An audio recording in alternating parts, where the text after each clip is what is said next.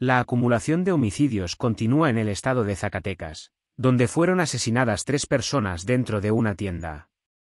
Los hechos ocurrieron la noche del miércoles en el municipio de Guadalupe. Las víctimas se encontraban en el negocio, cuando sujetos armados les dispararon sin mediar palabra. El crimen provocó una movilización policíaca, sin embargo, no se logró detener a los criminales. En Guadalupe, localizado al noroeste de Zacatecas, el pasado 12 de abril fueron asesinados dos funcionarios del ayuntamiento. Los servidores fueron interceptados por sicarios mientras se trasladaban en una camioneta por la avenida principal del fraccionamiento Villas de Guadalupe, lugar en el cual los atacantes a bordo de vehículos dispararon en diversas ocasiones en contra de sus víctimas, quienes perdieron la vida en el lugar. Después de haber acribillado a los funcionarios del ayuntamiento de Guadalupe, los sicarios huyeron a bordo de los vehículos en los que se trasladaban, pues se fugaron del lugar con rumbo desconocido.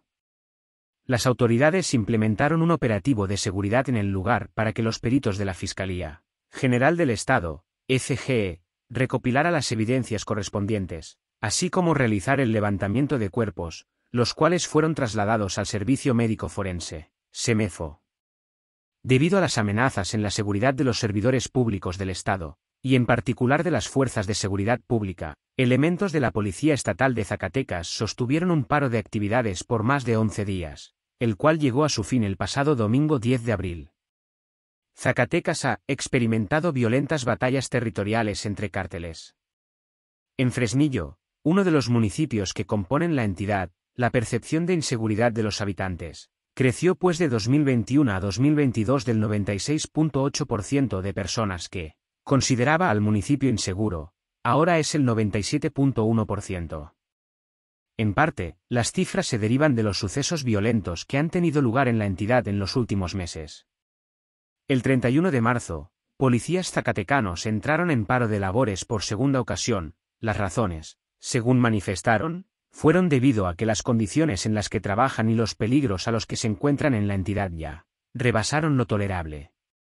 Ese mismo día, las autoridades reportaron la fuga de dos reos del Centro de Reinserción Social, Cereso, de Fresnillo. Ambos reos estaban privados de su libertad por violencia intrafamiliar y homicidio respectivamente. Días después, el 3 de abril, fueron asesinadas cinco personas en dos eventos simultáneos en la misma ciudad. Cabe señalar que de acuerdo con la información oficial, uno habría ocurrido en la colonia Barrio Alto y el otro en Francisco Villa. Fue en esta última colonia que, sobre la calle 2 de septiembre y a una cuadra del templo de San Francisco de Asís, un grupo de hombres armados irrumpió a la fuerza en un domicilio y asesinó a tiros a cuatro personas, tres hombres y una mujer. En hechos más recientes, apenas el pasado 12 de abril se encontraron seis cuerpos con signos de tortura en Pinos, una población de Zacatecas cercana al estado de San Luis Potosí. Posteriormente, el 13 de abril, Fresnillo vivió uno de sus días más violentos. Se registró la matanza de tres personas asesinadas y nueve heridas, quienes fueron atacadas a balazos cuando se desplazaban por un tramo de la carretera.